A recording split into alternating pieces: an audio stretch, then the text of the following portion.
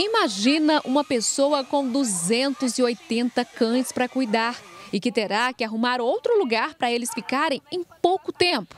Essa é a situação da Lucila, que há nove anos criou o Recanto dos Anjos Peludos. A gente teria que entregar a chácara né, e se mudar.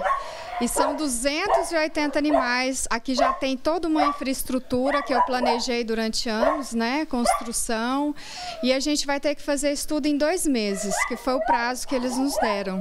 No abrigo estão dezenas de animais recuperados, prontos para adoção, como o Giovanni, que foi queimado com óleo quente. Ele foi tratado, recebeu carinho e agora está assim, com a pelagem quase toda normal.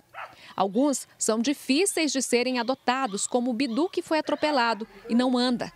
E outros nunca sairão daqui, como Caio, que covardemente teve a mandíbula quebrada e fica assim, sempre com a linguinha de fora. A Lucila é representante comercial, mas o que ganha não dá para manter o recanto.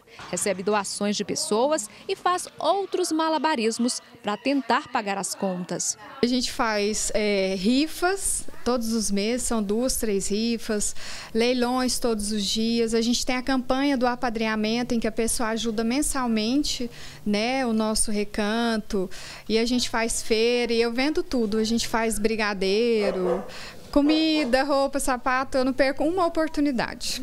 Aqui se gasta uma tonelada e meia de ração por mês. Além da comida, tem um aluguel, remédios e seis funcionários para cuidar e fazer a limpeza, totalizando 9 mil reais. Isso sem contar as cirurgias e internações.